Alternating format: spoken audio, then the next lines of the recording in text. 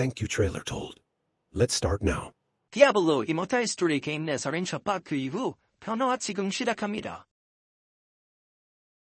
그 사건 이후 긴 말을 수차례 보냈지만 차단을 했는지 답은 없고 이제 보이지 않는 공격이 들어왔습니다. 예전에 라이브 스트리밍을 할 때는 나의 시청자가 암묵적 지지와 응원으로 힘이 많이 났습니다. 하지만 라이브 스트리밍을 하지 않고 복귀 후 영상만 올리다 보니 아무도 없습니다. 최근 많은 분들이 진출해 주셔서 받았지만 이번 사건에 언급되었던 코드로 친구 전체를 삭제하게 되었습니다. 죄송합니다. 쿠키했을 때 생각했던 고향 서부로 서부의 존을 생각해야 할 것 같습니다. 혼자서 어떻게든 클랜을 만들어 혹시 모를 나의 팬들과 웃으면서 즐겁게 게임하고 싶었는데 이제는 어려울 것 같습니다. 아무리 버티려고 노력해도 저 clan을 상대로는 안 될 것 같습니다. 같은 clan원이라는 이유로 탑도 선거 못하고 억울해서 게임 어떻게 할까요? 자금이 있는 탈라샤 서버 나를 응원하는 사람들이 부캐라도 가입해서 나를 도와준다면 큰 힘이 될 수도 있을 것 같습니다. 하지만 그렇게 도와줄 사람이 과연 있을까요? 지금 밖에 비가 오고 있습니다.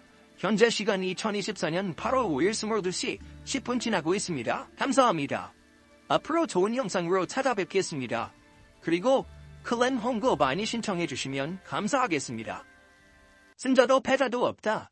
유저 다 떠나고 후회 말고 있을 때 친절하게 챙겨주라. 그것이 게임이다. 댓글로 많이 남겨주세요.